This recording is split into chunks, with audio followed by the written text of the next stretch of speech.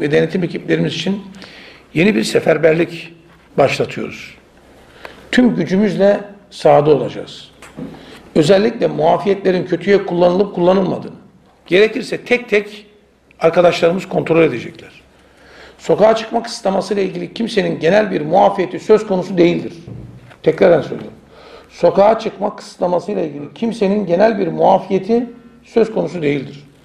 Bu tanınan muafiyetler muafiyet nedeni ve buna bağlı olarak zaman ve güzergahlarla sınırlıdır. Altını çiziyorum. Ben kamu görevlisiyim. Ben avukatım.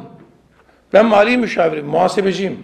Ben çiftçiyim deyip gün boyu kısıtlamalardan muaf olduğunu sanan, istediği yere istediği gibi gidebileceğini zanneden, bakkala markete gidiyorum deyip tüm şehri gezmeye kalkan olursa buna kesinlikle müsaade etmiyorum. Ve tekrar söylüyorum. Bu hakka girmektir. Bu e, hasta olanın sorumluluğunu almak hem bunun vicdan azabıyla hem bu dünyada hem de öteki dünyada karşı karşıya kalmak demektir. Bu kadar basit. Bizim bu kısıtlamalarımızın yukarıdan aşağıya attığımız adımların bir tek sebebi var.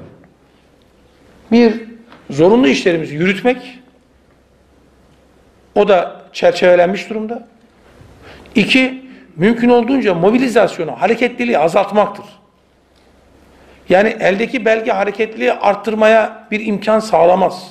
Bu çok yanlış olur. Vatandaşımıza haksızlık olur. Ben evdeyim, bu adam niye sokakta geziyor sorusunu arttırmaya sebebiyet teşkil eder. Bu yanlıştır.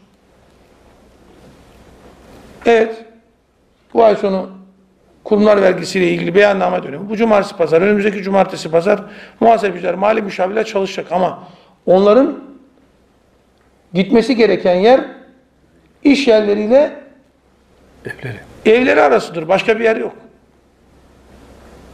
Oradan oraya gezeyim, oradan oraya gezeyim. Elimde bir kimlik var, bu kimlikle bunu sağlayayım diye bir avantaja kimse sahip değil. Yani lütfen vatandaşlarımızın evde kısıtlamayla karşı karşıya kaldıkları fedakarlığı istismar etmeyelim diye burada bir çağrıda bulunmak istiyorum. Lütfen istismar etmeyelim. Daha fazla video izlemek için kanalımıza abone olabilir, ilk izleyen olmak isterseniz bildirimleri açabilirsiniz.